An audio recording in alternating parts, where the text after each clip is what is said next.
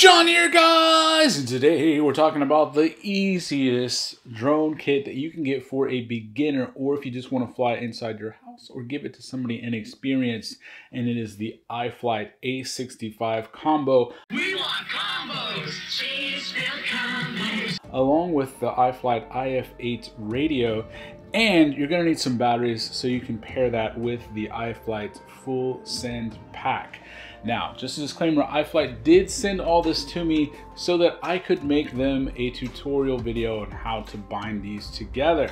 A review was not part of the deal, but I like this so much that I wanted to make a review combo out there.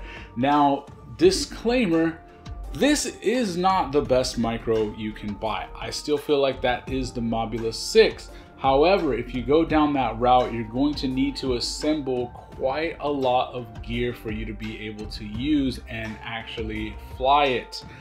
And then you're gonna have to go down the rabbit hole learning how to get all of the pieces to work with each other, what's compatible with that.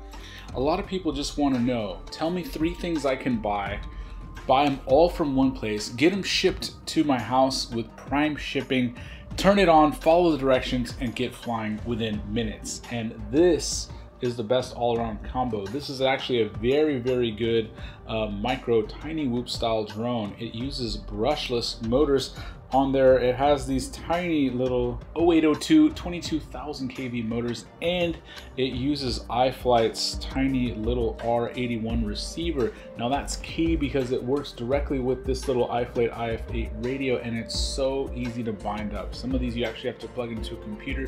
You don't need to plug this thing into a computer and install Betaflight or any of the apps to get it to run. That's the benefit of why this is so easy. Now why does this not one why does this one not fly as good? Be mostly because of this very uh, tough canopy. It adds a little bit of extra weight compared to some of the other models out there. But what you do get for that is durability. You have to worry about crashing this thing less than a lot of the other models out there on the market. And I like these iFlight Full Send 300 milliamp batteries a little bit better than the other ones for beginners because there's no wires hanging off of them and they fit just perfectly in there and when you fit it in there and you plug in your connector, you have no free hanging wire. Now, sometimes that wire that's hanging off is gonna get stuck on things and this has a minimal amount of that. So it's gonna work great. You can see a nice little LED. So let's check out some of the footage. It's very maneuverable, very controllable. Um, I like that it doesn't have too much power. So this is perfect for inexperienced users. For those of you that are experienced, um, you don't ever want something you're going to fly inside to be overpowered. Why? Because you hit the throttle a little bit too much and it's going to fly straight into the ceiling. Um, so having something like this that has a mid-range amount of power is actually going to be better for control. It's kind of like how when you go to the autocross events, the guys in Miatas somehow are beating like all the guys in the Corvettes and Lamborghinis. Uh, very same principle this has the perfect amount of power for the weight and it flies great. So this is a nice beginner radio. It actually has hobby grade switches. It has hobby grade real gimbals. Uh, and there's only two buttons on here, so you don't have to learn OpenTX, although it does have it installed. It also has a module bay if you want to expand later on. And I think this is just a great um, kit to be able to get yourself. I'll have links for all the stuff in the description so you, I'll take the guesswork away from you so that you can get started in this hobby. This is also a perfect radio for flying simulator. So this very cheap option can be paired with the $20 Velocidrone or $20 liftoff simulators so that you can learn to fly um, a larger drone as you're learning to fly one of these micro ones and then you'll be perfectly ready to take the next step. What do you think in the comments, guys? Um, if you were a beginner and this kit was available, would you have gotten it? I got a radio when I first started that was not as compatible as this one is with different protocols. It was about the same price and I ended up um, outgrowing it very, very soon. This one you still may outgrow eventually, but I think it's gonna last you a bit longer because you can start your first few full-size models with it. You can simulator with it. You can keep it for a travel radio because compared to a full-size radio like this, it is just so tiny. So this can be taken with you anywhere. What micros are you flying right now, guys? Winter is coming. My favorite for this season, if you're curious, is still the Mobula 6 Express LRS version. The new one, I have a link up here for that review. But if you're a beginner and you don't want to have to piece together all the custom stuff, that thing, I'm using $300 of radio equipment to fly that thing. I'm using $600 worth of goggle equipment to fly that thing. This, you can put together a kit for closer to $200 for everything. Get up in the air. Thanks, guys.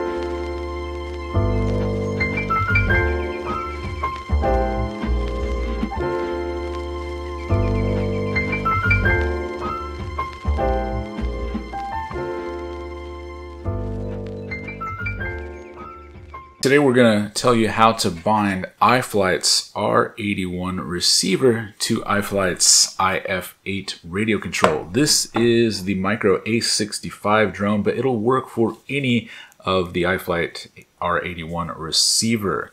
First, you plug in the craft to a battery. Then you're going to want to push the bind button for two seconds. So I can see the bind button right there.